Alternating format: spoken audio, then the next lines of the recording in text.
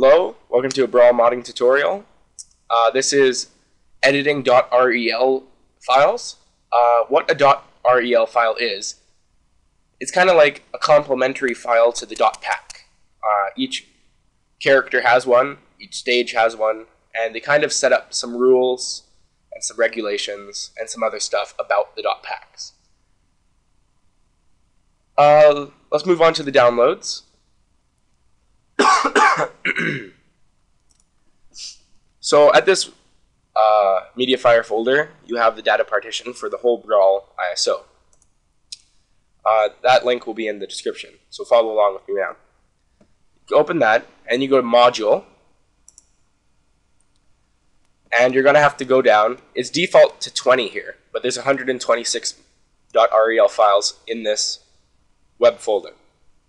So go down until you find uh, stg final.pack, which is a, I mean, .rel, of course. Uh, that is of obviously the dot .rel for Final Destination. That's the one we're going to be using today, and I'll explain why it makes the most sense later. But uh, if you just want that link, I will also include just the um, just the link to this download in case you just want to follow along with the tutorial and get it done quick. So look for both the web folder and this link in the description. Next you'll need Bero, a user from uh, Smash World Forums Stage Switcher file. It's a great program, much easier than the hex editing way, and this is the method we're going to be going with uh, for this tutorial. So download this as well. When you have all three of those downloaded, you'll have this REL file, a stage switcher folder, and that's it. So open up your stage switcher folder. You'll notice edited, REL, readme2, and stage switcher. It's usually a good idea to read the readme, but you have me, so what's the difference? What you're going to do is put your unedited .rels in the REL folder, run stage switcher, and they will come out in the edited folder. Basic stuff. Right click, drag your stage final REL into the .rel folder. Double check that it's in there. Go back, run stage switcher. Now is when I'd like to talk about what an REL file in regards to Final Destination actually does. Basically, for the purpose of this tutorial, we can replace many things over Final Destination. As we all know, we can replace it with Final and Subspace Emissary stages, uh, two-dimensional stages that we've learned from other tutorial, uh, elements like we, our own custom 3D stages. Basically, everything can go over Final Destination. So what we're going to do is make a more difficult stage to replace over, in fact, 75 meter. We're going to take that stage and basically make it the same uh, the same replacing properties as Final Destination, which would be a great help because 75 meter, not really fun to play on, super gimmicky. Final Destination based stages, you can do whatever you want. So when you open this up, any .rel you have in the in the rel folder will be here. So you can have up to whatever you want. You can have every rel in the whole game in here. So click on it, and it'll ask you what stage is this file.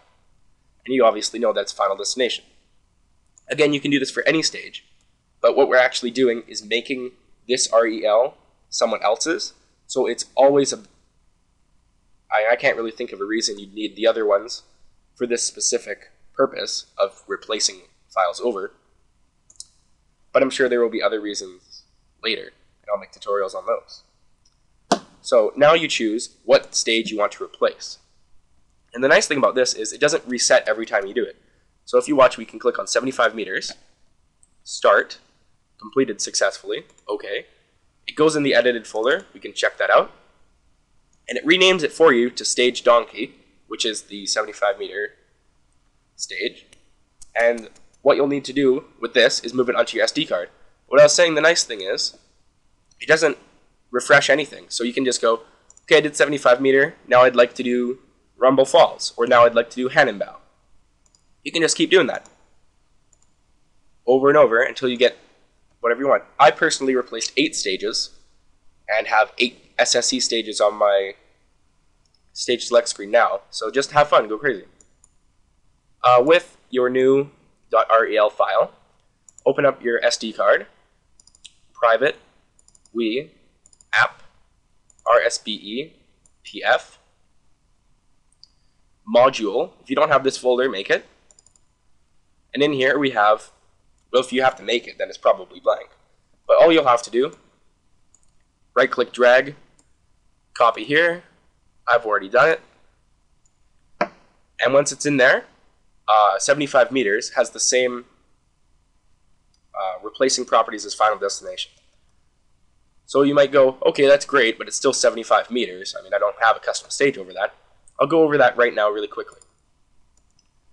Go to PF, Stage, Melee, and go down until you find your stage donkey. If you don't have every file, then you'll just need to copy something in here. I personally have a backup for every file in my SD. Might as well. So here it is. This is the original. And over here, I have a convenient SSE stage.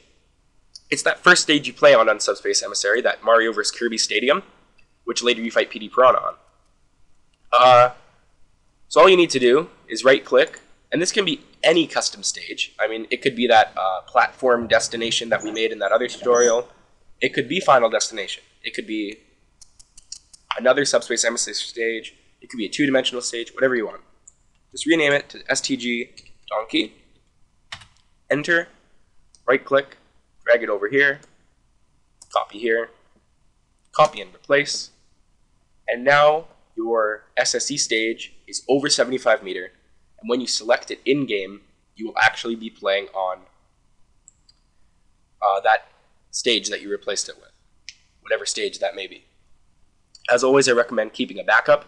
I've done so here with every stage I've replaced with the uh, Affix original always a good idea. I hope you enjoyed this tutorial. Thanks again to Bero for making that great stage switching program, and watch out for the demonstration. Should be up later. Go vote for the next tutorial on my blog.